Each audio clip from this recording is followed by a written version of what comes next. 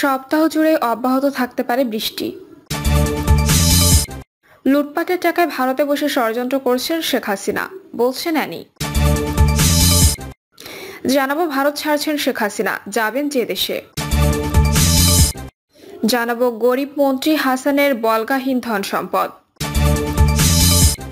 এবং সর্বশেষ জানাব শীত নিয়ে যে বার্তা দিল আবহাওয়া অধিদপ্তর।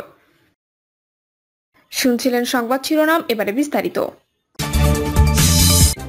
সপ্তাহ জুড়ে অব্যাহত থাকতে পারে বৃষ্টি।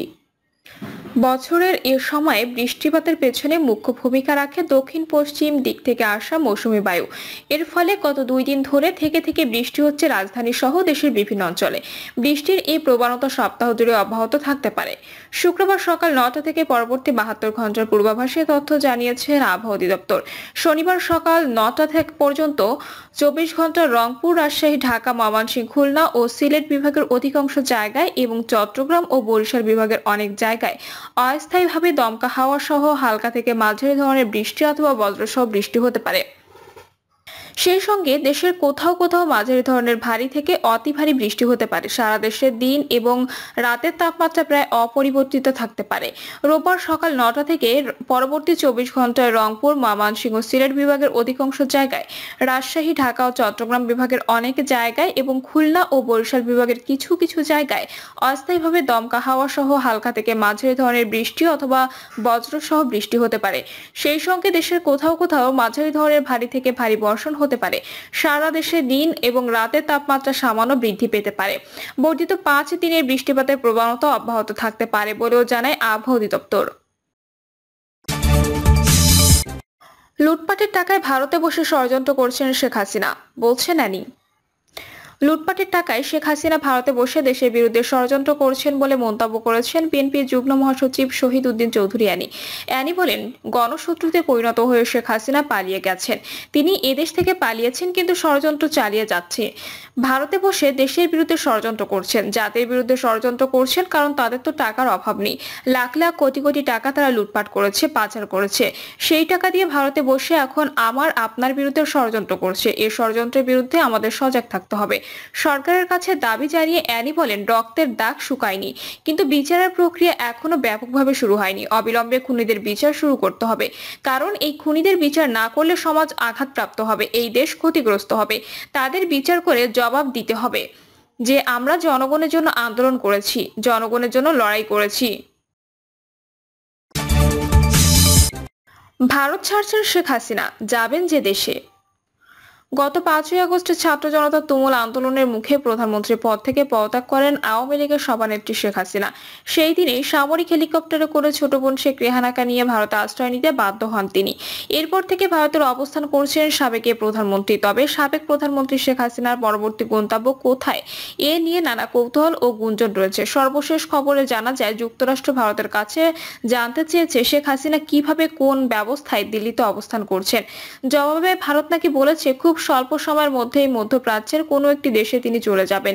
এই খবর ঢাকা সরকারি মহলকেও জানানো হয়েছে বলে বাংলাদেশে একটি সংবাদ মাধ্যমের প্রতিবেদন থেকে জানা গেছে। তবে শেখ হাসিনা নিজে এখনও কোনো দেশে লিখিত আবেদন করেনি যুক্তরাজ্য বা আমেরিকায় তো নয় এইসব দেশগুলোতেও না। তার হয়ে এবং তার মৌখিক সম্মতির ভিত্তিতে যাবতীয় কথাবার্তা ভারত সরকারই চালাচ্ছে। ইতোমধ্যে শেখ হাসিনা কূটনৈতিক পাসপোর্ট বাতিল করেছে অন্তর্বর্তী সরকার। এ ধরনের পাসপোর্টধারীরা ভিসা ছাড়া ভারতে পঁয়তাল্লিশ দিন বৈধভাবে থাকতে পারেন। ইতোমধ্যে ভারতের শেখ হাসিনা প্রায় দুই মাস ধরে অবস্থান করছেন।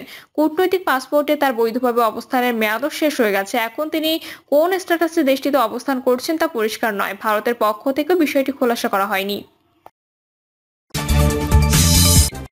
গরিব মন্ত্রী হাসানের বলগাহীন ধন সম্পদ।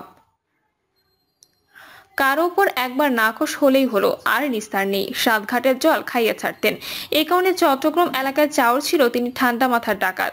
ভীতি জাগা নিয়ে মানুষটি আর কেউ নয়, ক্ষমতাচ্যুত হাসিনা সরকারের প্রতাপশালী মন্ত্রী ডক্টর হাসান মাহমুদ। শুধু ভয় ছড়িয়ে তিনি ক্ষান্ত হননি, ক্ষমতা ছড়িয়ে ঘুরিয়ে সম্পদের চূড়ায় চড়েছেন। গেল সংসদ নির্বাচনের আগে দেওয়া হলফনামায় নিজেকে চট্টগ্রামের সবচেয়ে গরিব মন্ত্রী দাবি করেছিলেন।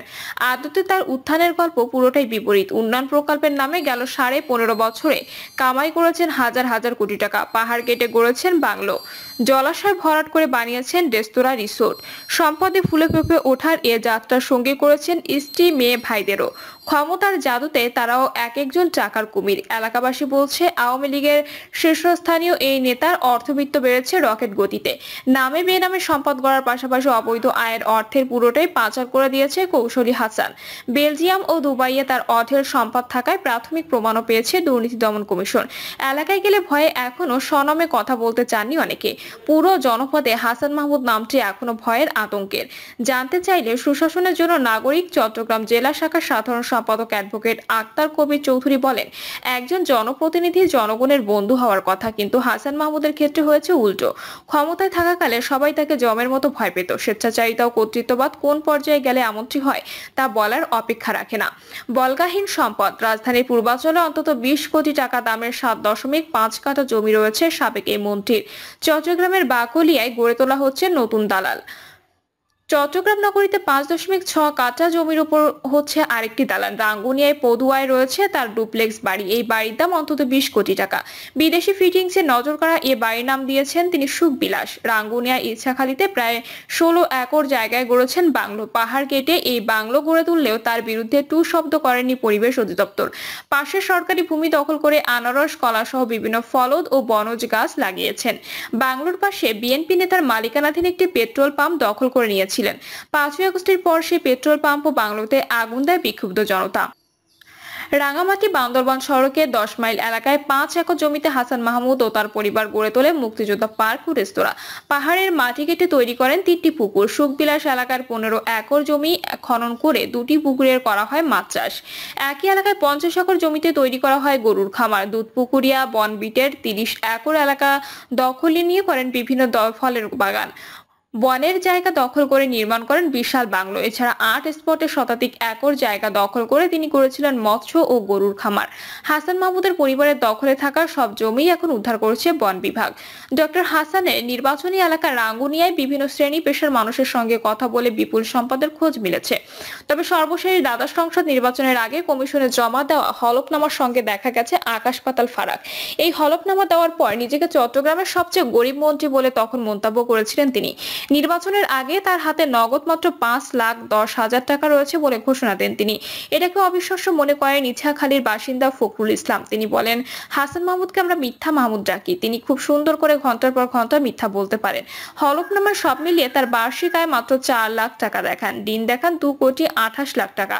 চট্টগ্রামের পাঁচলাইশ থানার খুলশিতে কোটি টাকার নিচে কোনো জায়গা নেই। কিন্তু হলফনামার খুলশি মৌজায় ছয় কাঠা জমির বাজার দর সেখানে মাত্র ষোলো লাখ পঁচানব্বই হাজার টাকা। সহধর্মিনী শতকোটির মালিক স্থানীয়রা বলছেন, নামে বেনামে শত কোটি টাকার মালিক হয়েছেন হাসানের স্ত্রী নুরান ফাতেমা।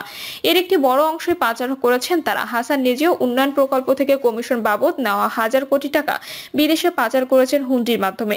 ঠিকাদারদের কমিশনের টাকা বিদেশে দিতে বলতেন তিনি। পাওয়া গেছে এমন অভিযোগও। নাম প্রকাশ্য অনিচ্ছুক এক ঠিকাদার বলেন, বেলজিয়াম ও দুবাইয়ে অঢেল টাকা পাচার করেন সাবেক এই মন্ত্রী। তিনি যেভাবে চাইতেন, সেভাবেই আমরা পৌঁছে দিতাম তার কমিশনের টাকা। অথচ সর্বশেষ হলফনামায় হাসান তার স্থাবর অস্থাবর মিলিয়ে মাত্র এক কোটি টাকার সম্পদ রয়েছে বলে উল্লেখ করেন। আবার বিভিন্ন ব্যাংকে তার দু কোটি আঠাশ লাখ টাকা ঋণও রয়েছে। তার স্ত্রীর স্থাবর অস্থাবর মিলিয়ে প্রায় পৌনে তিন কোটি টাকার সম্পদ রয়েছে বলে উল্লেখ করেছে নির্বাচন কমিশনে। কিন্তু তাদের এই ঘোষণা বিশ্বাস করে না রাঙ্গুনিয়ার মানুষ। সাবেক পরিবেশ ও বনমন্ত্রী হাসান মাহমুদ এবং তার পরিবার সাড়ে পনেরো বছরের আঙুনিয়া বন বিভাগে কমপক্ষে দুশো বারো একর জায়গা দখল করেছে। এসব জায়গায় তারা গড়ে তোলেন রেস্তোরাঁ, মাছের খামার, রিসোর্ট ও বাংলো বাড়ি। এরই মধ্যে বন বিভাগ প্রায় দুশো একর জায়গা উদ্ধার করেছে।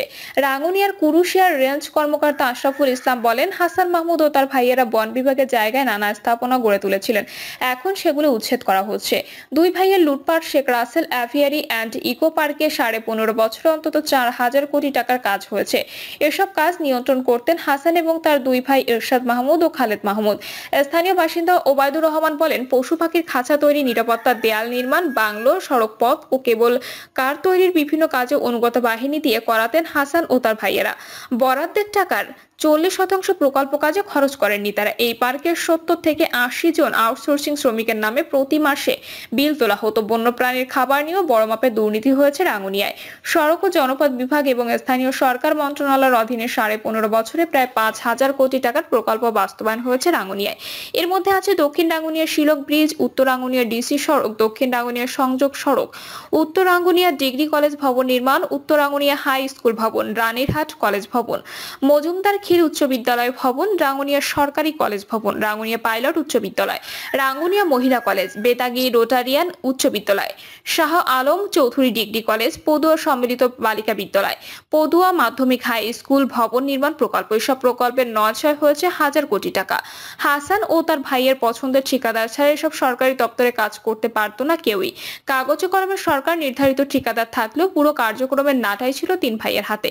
রাঙ্গুনিয়ার চারপাশে বালু তোলার কাজ নিয়ন্ত্রণ করতেন হাসানের ভাই ইরশাদ মাহমুদ। নাম প্রকাশ অনিচ্ছুক এক বালু ব্যবসায়ী জানান, শিলক খাল, কর্ণফুলী নদীর সরব ভাটা বেতাগি, ইছামতি, রানীরহাট নদী তীর থেকে বালু তুলতে কমিশন দিতে হতো এরশাদকে। প্রতি ফুটে সাত থেকে আট টাকা কমিশন নিতেন তিনি। তার হয়ে এই কাজ নিয়ন্ত্রণ করতেন ইঞ্জিনিয়ার শামসু। এই টাকার ভাগও যেন হাসানের কাছে। হাসানের ভাই খালেদ মাহমুদ চন্দ্রকোনা চক্ষু হাসপাতালের সব কার্যক্রম নিয়ন্ত্রণ করতেন। এখানে নামে বেনামে শেয়ার ছিল তাদের।